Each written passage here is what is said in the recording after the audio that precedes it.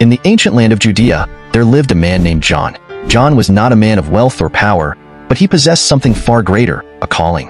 He preached of repentance and renewal, urging people to turn away from their sins and seek forgiveness. His voice echoed across the wilderness, drawing crowds from near and far. Among those who came to hear him was a humble carpenter from Nazareth, Jesus. John recognized the divine presence in Jesus and declared him to be the Lamb of God. Though John's life was cut short, his message of hope and redemption would echo through the ages.